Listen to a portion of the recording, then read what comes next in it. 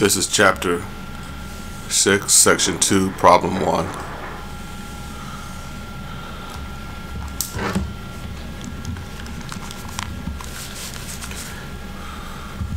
Select the correct choice that completes the sentence.